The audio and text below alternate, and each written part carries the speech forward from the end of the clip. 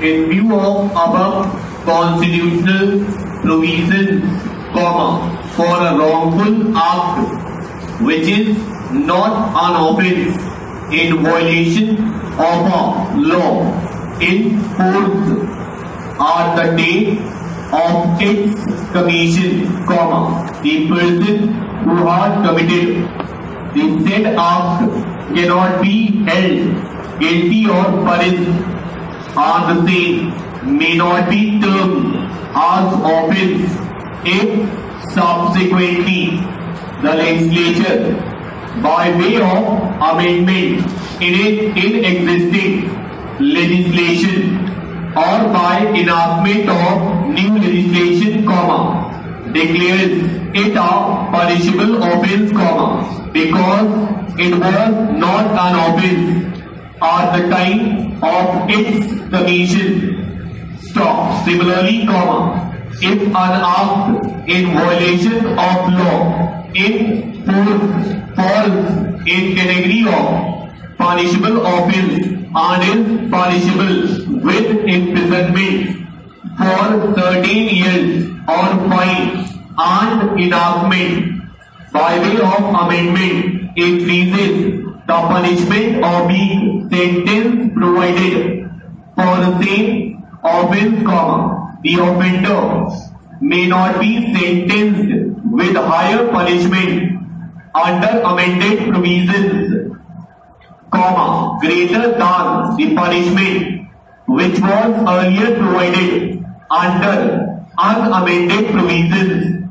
in force at the time of commission of offence stop by Act 46 of 1983 comma amendments were made in Indian Penal Code and Indian Evidence Act as mentioned above and the provisions of section 498A and section 113A of Indian Evidence Act were enforced effect from 25.12.1983 that is prior to the commission of offence in question dated 9.8.1985, comma. However, the provisions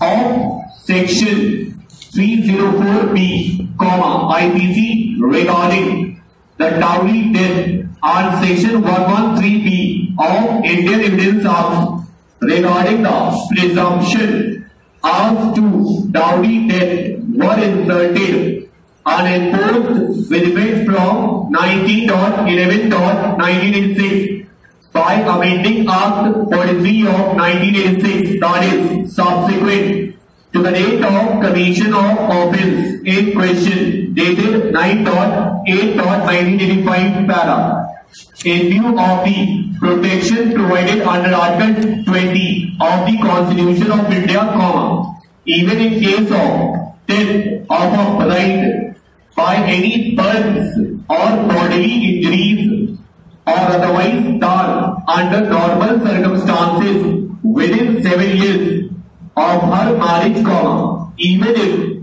she is shown to have been subjected to cruelty or harassment by her husband or any relative of her husband for or in connection with the demand of dowry, comma, prior to 19.11.1986, comma, her husband or his relatives may not be held guilty of offence of dowry death under section 304b, comma, by pressurizing commission of such offence in view of presumption of death as provided under section 113b of Indian Evidence Act Stop. Hence, comma, the conviction of appellants under section 304b, comma, IPC may not be considered correct and in accordance with law. Para. In view of the provisions of dowry death under section 304b, comma, IPC and presumption of such death under section 113 of Indian Evidence Act, comma, a person will be held guilty or convicted for committing dowry death, top, subject to following conditions or requirements, colon, para point one. The of a woman is caused by any burns or bodily injuries or occurred other than under normal circumstances and point second, her death has occurred within seven years of marriage and point third, she is told to have been subjected to cruelty or harassment by her husband or any relative of her husband and point four, such harassment or cruelty was in connection with any demand of dowry and point five, she was subjected to such harassment or cruelty, comma, soon before her death. Open bracket as provided under section 113b of Indian Evidence Act close bracket comma. Only then and there will be presumption of dowry death against the husband of deceased or his relatives. So, in view of above provisions, comma, demand of dowry and subjecting the deceased with cruelty or harassment for non-fulfillment of demand of dowry by husband or his relative are necessary ingredients to be proved by prosecution. And in case the prosecution succeeds in proving such harassment and offense under section 498A, comma IPC, only then the presumption under section 113B will arise against the accused for holding him guilty for dowry death and convicting him. Under section 304B, comma IPC part. In the accused judgment, learned trial court on one hand has held that the accused cannot be held guilty for administering alcohol or poison to the deceased, but on the other hand, in contradiction to the same, comma, by taking into consideration the provisions of section 106 and section 113b of Indian Evidence Act, comma, has held the accused appellants guilty for committing dowry death of Srimati. Meena Sarma, comma, receipts, comma, which are self-contradictory findings, stop. The learned trial court at one place has held that the prosecution has failed. To prove that there was any demand of dowry or deceased was subjected to cruelty or harassment. For non-fulfillment of demand of dowry but at the same time in contradiction to above findings acted wrongly in drawing presumption of offense under section 498A, comma IPC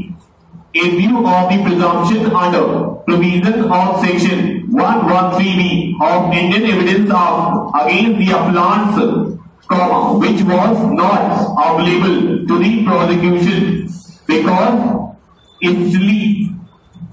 Firstly, the provisions of section 113B of evidence Act were not in existence at the time of commission of the crime. In question as on 9.8.1985 when the death of Srimati Veena Sarma did